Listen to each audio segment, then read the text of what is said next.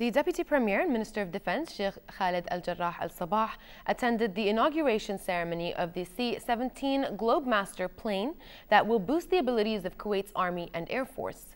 The C 17 Globemaster is a freight aircraft capable of providing strategic support to military tasks, aid missions, and humanitarian operations due to its ability to carry heavy loads for long distances.